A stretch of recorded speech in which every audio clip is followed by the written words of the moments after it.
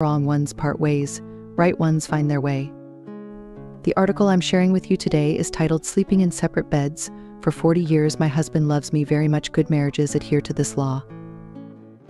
Let's listen together to what a beautiful marriage looks like. It's about an elderly couple who have been married for nearly 40 years. Both work at universities, one in agricultural science research and the other as a media studies professor. At the beginning of their marriage, the wife, who graduated from a normal university, became a high school teacher. After marriage, the husband took the initiative to do household chores such as cooking and cleaning. Despite already working at a university, he believed in his wife's intelligence and potential for significant improvement, so he encouraged her to change her field of study and pursue further education.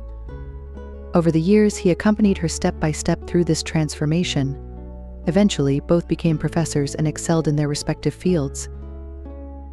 As they became busier, they had less time for household chores and often dined out, which displeased the mother in law.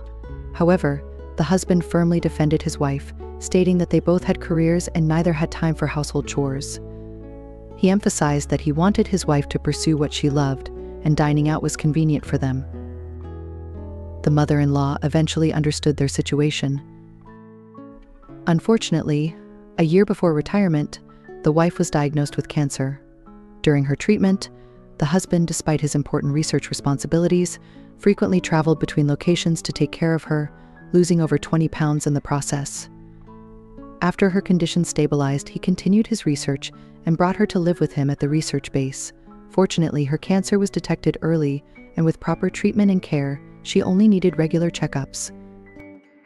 This story reminds me of a poem The days of the past have slowed down. Everything is slow, but a lifetime is enough to love only one person. Interestingly, despite their deep love, this couple has slept in separate beds since they got married. Unmarried girls from small towns may question the significance of such a formality, but for such a loving couple, sleeping in separate beds is also a form of romance. Dr. Susan Johnson, a renowned marriage therapist believes that a spouse is someone who provides reliable emotional support and comfort. When communication becomes unbearable in a marriage, it indicates a lack of this reliability.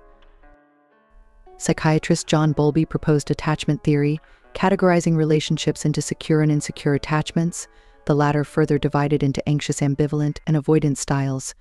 Both stem from the desire for security Unsurprisingly, unhappy marriages often consist of combinations of insecure attachment styles. Couples enter marriage with hopes of growing old together, only to find themselves trapped in cycles of pursuit and avoidance, leading to distant happiness. Thus, a good marriage requires mutual efforts to build a secure haven where needs are expressed and responded to sincerely. In conclusion, a marriage is a secure emotional shelter that requires both partners to express their needs honestly and respond to each other's needs courageously. Love can conquer barriers and lead to a springtime of love, where all doubts and worries are cast aside in pursuit of an enduring bond. I once heard a story about Mr. Z, a photography enthusiast whose passion for his hobby overshadowed his marriage. Despite frequent conflicts, his dedication to photography remained steadfast until one New Year's Day, when his wife tearfully confessed to losing the wedding ring he had bought her with his photography awards. This loss prompted Mr. Z to reflect on their relationship and rush back home to console his wife, realizing the depth of her feelings. His tears upon seeing the lights at home symbolized his rekindled love for his wife, as expressed in his social media post about finding love anew in the new year.